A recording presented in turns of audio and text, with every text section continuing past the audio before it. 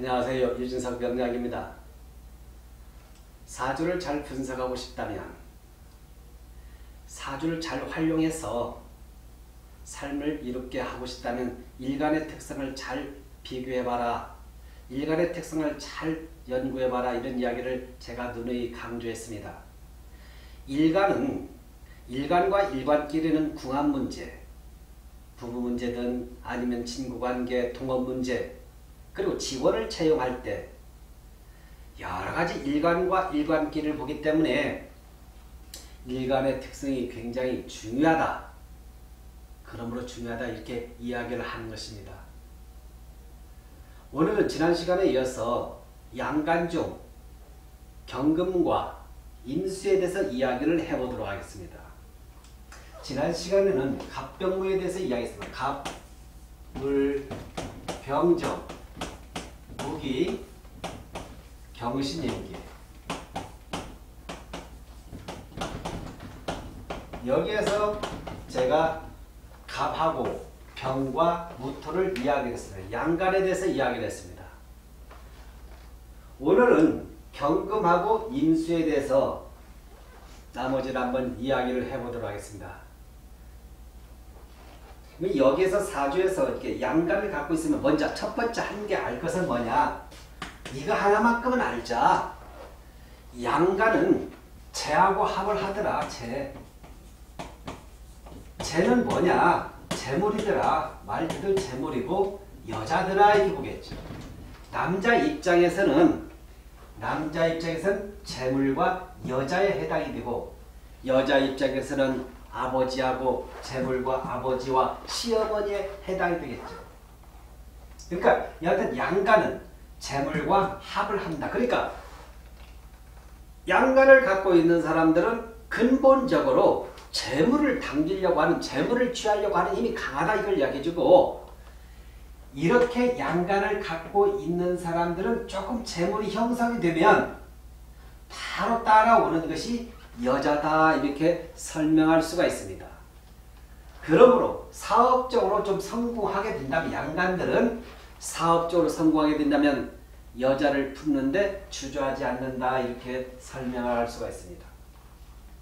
그러나 만약에 일간 중에서 신약 사주거나 아니면 형충을 당했을 때 그러니까 양간을 갖고 있으면서 형충을 당하거나 아니면 신약한 경우에는 이제 얘를 재물과 여자를 그림의 떡 그러니까 그림처럼 바라보기만 한다. 그럴 때는 걱정 안 해도 되겠죠. 그러나 재물과 이걸 취하는 것도 사주에서 힘이 있고 심각할 때 취해야 한다. 이것을 참고해 보면 됩니다. 자, 오늘은 경금하고 임수에 대해서 이야기를 해보도록 하겠습니다. 그러니까 다시 이야기하면 궁합을 볼 수 있더라. 또 다시 뭘 볼 수 있느냐?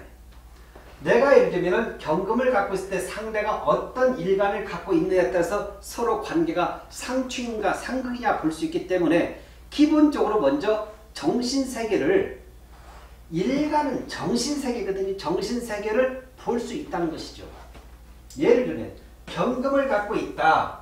근데 상대가 정화다 이렇게 보겠죠. 정화. 만약에 상대가 개수다 이렇게 볼 수 있겠어요. 경금을 갖고 있는데 정화를 갖고 있으면 일단 무조건 보약입니다. 보약이에요. 왜? 고철이에요. 경금은 고철입니다. 오행상 금에 해당이 돼요. 고철에 해당이 됩니다. 고철은 반드시 불을 만나야 돼요. 용광로를 만나야 얘가 격이 성립이 됩니다. 성격이 된다는 거예요.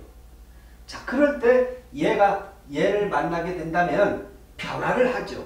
그걸 받으니까 그걸 받으니까 얘는 변화인데 어떤 쪽으로 나쁜 쪽으로 변하냐 좋은 쪽으로 변하냐 좋은 쪽으로 변한다는 것이죠. 왜?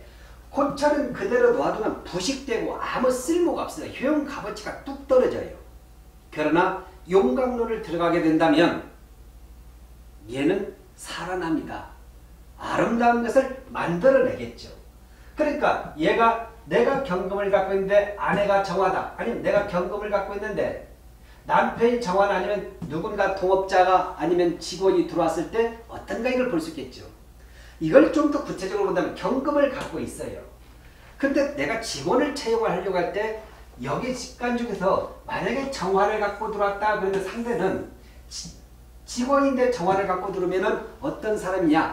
나한테 직원을 해주는 사람입니다. 그러니까 도움되는 사람이에요. 도움되는데 일단 그걸 하니까 쓴소리를 해요. 그런데 이 사람의 경금이 정화를 뽑을 때는 뭐냐? 나에게 쓴소리와 나에게 중요한 조언자로 역할을 해준다는 금상첨화인데 밖에 나가서 영업하라. 이 물질적으로 도움 주는 약합니다. 왜냐하면 극하지 그걸 할 뿐이지 도움에 대해서 물질적으로 돈을 주는 데는 좀 약하다. 그러니까 경금이 정화를 만약에 쓸 때는 어떤 식으로 하냐? 직원에서 영업 파트가 아니라 안에서 이제 총 파트나 아니면 나에게 가장 중요한 피서 역할을 해준 것이 좋겠다 이렇게 설명할 수가 있는 것입니다. 만약에 상대가 개수를 갖고 있다. 개수는 말 그대로 비를 상징해 줍니다. 가느다란 비예요. 비가 고철에게 예를 들면 고철이 있는데 비가 내리면 첫 번째는 부식이 됩니다. 녹습니다. 쓸모가 없어요. 그러니까 얘하고 얘의 관계는 크게 큰 별, 특성이 없습니다. 그러니까 만약에 직원을 채용할 때 내가 어떤 일을 할 때 어떤 직원을 채용해 정화가 좋냐 개수가 좋느냐 한다면 경금에게는 기본적으로 정화가 코드가 맞아요. 그런데 이제 여기서 중요한 것은 사주가 신강할 때는 얘도 신강하게 들어야 합니다. 그래야 가장 좋은 균형을 이루어요. 근데 한쪽이 신강하고 한쪽이 신약할 때는 늘 트러블이 있습니다. 남편이 신강하면서 경금을 갖고 있는데 아내가 신약해요. 그러면 정화를 갖고 있을 때는 늘 대립은 해요. 대립을 하는데 중요한 것은 정화가 나중에는 도와주고 본인은 정화는 불이 꺼진다. 신약한 경우에 이렇게 이야기를 할 수가 있습니다. 만약에 애들이 경금이 있는데 간목을 갖고 있다. 상대가 간목을 갖고 있다. 그러면 뭐냐? 얘는 경금에게서 재물에 해당이고 돈에 해당이 되겠죠. 그러면 이 경금 자체는 반드시 금이 이렇게 용광도를 들어가게 되면 날카로운 것을 형성을 할 수 있기 때문에 얼마든지 이 간목을 잡을 수 있다는 것이죠. 그러니까 쉽게 말하면 얘가 용광도로 들어가서 톱이 되거나 칼날이 됐단 말이에요. 칼날이 됐을 때는 얘는 나무를 패서 목적을 쓸 수 있기 때문에 이럴 때는 돈에 해당이 되죠. 그러니까 이런 직원 영업 파트를 보낼 수 있다 이렇게 볼 수 있겠죠. 그러니까 일간끼리 어떤 관계에 있느냐 일간끼리 어떤 상태에 있냐에 따라서 내가 저 사람을 직원으로 채용할 것인가 아니면 내가 저 사람과 어떤 동업 관계 동업을 해도 좋은 건가 남편이 이런 이걸 갖고 있는데 아내가 이런 어떤 오행을 갖고 일간을 갖고 있냐에 따라서 충분히 대령을 피하고도 한쪽이 알고 이해를 하게 된다면 넘어갈 수 있다 이걸 이야기해 줬죠. 금이니까 고철이니까 반드시 얘는 용광로를 만나지 않다 이걸 이야기했죠. 정화를 만나라 이걸 이야기했죠. 그래서 이 경금에게서 정화는 정화는 진신이다 이렇게 보는 거죠. 진신. 아주 중요한 역할을 한다 이걸 이야기했죠. 진짜 용신이다 이렇게 보겠죠. 자 그리고 임수를 다시 한번 보자. 임수. 임수는 수에 해당이 됩니다. 오행상 수. 물이에요 물. 물은 흘러가고자 합니다. 흘러내려요.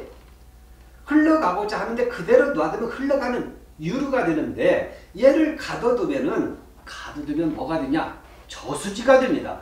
저수지가 된다면 언제든지 기묘하고 필요할 때 끌어다 쓸 수 있는 격이 성립이 됐다는 거예요. 그러니까 임수를 갖고 태어났다면은 반드시 무토에 대한 토의 기운 자체가 가장 좋겠죠. 토가. 무토를 만나면은 무토는 건토니까 제방을 쌓아주는 거지. 이때는 제방 역할을 하겠죠. 제방으로서 해석을 해주라.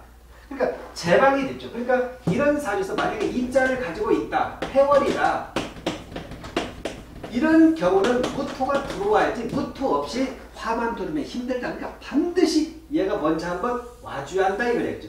여기에 자까지 들어오게 된다면 자월이다면 더욱더 무토는 이 사주에서 핵심 역할을 한다는 걸 이야기해 주죠. 그러니까 굉장히 이런 때는 이 내가 임수를 갖고 있는데 상대가 이때 무토를 갖고 있다. 내가 이렇게 흘러가고 정말 어렵고 힘들게 사는데 어느 날 갑자기 어디에서 만난 상대가 무토를 갖고 있는 여자다. 아니면 남자다 했을 때 그럴 때 저 사람은 나의 배필이다 이렇게 생각하고 그럴 때 대시를 하고 그 사람 사귐을 반드시 만들어야 하는 것입니다. 더군다나 얘가 만약에 무토가 얘에서 중요한 역할을 하게 준다면 반드시 이 무토가 중요한 역을 제방을 쌓아주게 된다면 이 안에서 화가 살아요. 화가. 돈이 살아납니다. 화가. 그러니까 무토를 만남과 동시에 재물이 형성이 된다 이렇게 볼 수 있겠죠. 이것 또한 조건이 있다.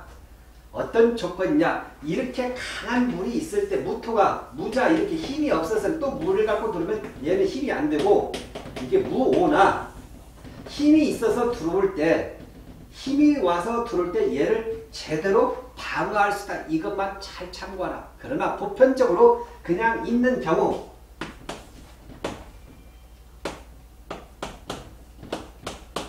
이런 경우는 오 하나만 들어와도 이렇게 오 하나만 들어와도 무오 이렇게만 들어와도 큰 역할을 합니다. 이렇게 큰 역할. 임자의 그냥 큰 물의 기운 자체 얘 하나만 이 정도면은 사주가 굉장히 좋다 이렇게 해석할 수가 있는 것입니다. 물은 흘러가고자 한다는 그러니까 얘를 반드시 얘를 잡아줄 수 있는 것은 뭐냐? 토에 해당이 되겠죠. 근데 얘는 얘를 정상적인 사람으로 만들어주는 역할을 합니다. 그런데 돈을 벌려고 한다면 뭐냐? 돈을 벌려고 한다면 얘는 오히려 목의 기운 자체가 먼저 수생목부터 간다는 거겠죠. 수생목. 물은 무조건 만물을 먼저 키우려고 하는 특성을 갖고 있기 때문에 사주에서 목이 있냐 없냐 키우려고 한다. 근데 이렇게 물바다 있을 때는 얘가 못 커요. 토가 탁 잡아주니까 얘가 여기, 여기에 뿌리를 내고 여기서 성장을 한다. 여기에 이제 병화가 들어오거나 병화가 화기가 들어오면 이 운에서 이제 큰 성공을 거두고 크게 히트를 친다 이렇게 설명할 수가 있습니다. 다시 이야기하면 사주에서 양간을 갖고 있는 사람들은 근본적으로 사업할 수 있는 힘은 있다. 그런데 이 양간을 갖고 있는 사람이 어느 상황에서 어느 상황에서 예를 들면 크게 더 히트를 치냐 얘를 도와준 분명히 또 다른 일간이 있다는 것이죠. 독불장은 혼자는 안 되니까 누군가가 거래처나 아니면 직원이든지 어떤 어떤 일간을 갖고 있는 사람이 있다. 그럴 때 어떤 일간을 갖고 있는 사람이 이 경금과 인수에게 좋은 건가? 이건 명리에서 설명을 해줄 수 있다는 것이죠. 이게 바로 장점이라는 거죠. 그러니까 직원을 채용할 때 오른팔 왼팔만 한 명만 이렇게 잘 한명한 명만 잘 잡아봐라. 경금 있을 때 한 명, 한 명, 오른팔 왼팔 이렇게 한쪽만 한쪽 한쪽만 잘 잡아놓으면 그러면 그 다음부터는 뻗어가는 데는 시간 문제다 이렇게 보겠죠. 양쪽을 하게 되면 삼각구도가 일어나니까 그러니까 짱짱해진다는 거죠. 근데 이 한 명은 잘 나고 여기가 못 나갈 때가 문제죠. 그래도 이 경금 자체에서는 얘가 정화하고 간목 자체가 이루어질 때 그래서 이게 진신으로 보는 것이죠. 이런 경우에 경금 자체가 큰 틀을 형성한다. 그런데 이 간목과 간목과 정화가 일관돼서 상대가 어떻게 구성되어 있냐 그 다음에 이제 사주를 보는 거죠. 구성이 어떻게 되어 있냐 이 사주는 경금을 갖고 어떻게 구성되어 있고 또 상대는 정화를 갖고 있으면 어떻게 구성되어 있냐 아 이 구성이 참 잘 됐다 할 때 그때는 동업이요 결혼이요 여러 가지 좋은 장점을 갖고 있으니까 긍정적으로 대답을 해서 오히려 묶어주는 것이 좋다 이렇게 설명하는 것입니다. 그러므로 일간의 특성을 잘 알아라. 일간의 특성에서 얘네들이 뭘 요구하는 건가 어떤 걸 좋아하는가를 잘 참고해 보라는 거죠. 인수 자체는 무토를 좋아하고 병화를 좋아합니다. 여기다 간목까지를 좋아해요. 그러니까 얘는 인수는 진신이 뭐냐? 간목이고 병화하고 무토라는 것이 무토. 이 무토가 필요할 때는 수가 많을 때, 수가 많을 때 얘가 반드시 중요한 효자 노릇을 한다. 근데 수가 적을 때는 얘가 안 들어와도 괜찮아. 이 두 가지만 있어도 괜찮습니다. 근데 사주에서 무토는 있는데 오행상으로 만약에 예를 들면 태양빛이 없다. 화기가 없으면 뭐냐면 나무가 물을 주고 있지만은 태양빛이 없으면 읍지나무가 되니까 결실이 좀 시원치 않다 이렇게 해석하면 되는 것입니다. 맞고요 그것이. 그래서 일간의 특성을 잘 알면 사주를 분석하는데 쉽다 이게 설명할 수가 있습니다. 다시 한번 이야기하겠습니다. 임수가 가지고 있다. 일간이 임수를 갖고 있다. 이거 하나만 끄고 알자. 물을 갖고 태어난다. 임수를 갖고 양간을 갖고 태어났는데 사주에서 이 사람이 지금 수가 많이 있다. 아니면 수가 좀 부족하다. 수가 부족하면 기꺼이 무토가 들어오면 안 돼. 얘가 물을 다 빨아당기니까. 그런데 이가 물이 많을 때는 당연히 무토가 들어가고 얘들을 운에서 들어올 때 그때가 사업을 해야 돈을 버는 것이고 그렇지 않고 그냥 잘 균형이 있다면 임수는 무조건 병화와 간목만 있으면 사업 성공하게 됩니다. 돈을 잘 번다는 것이에요. 그럴 때 이 사주에서는 아 사업에도 괜찮습니다. 이런 운이 들어왔습니다. 이렇게 이야기를 할 수가 있다는 것입니다. 한번 참고해 보시기 바랍니다. 감사합니다.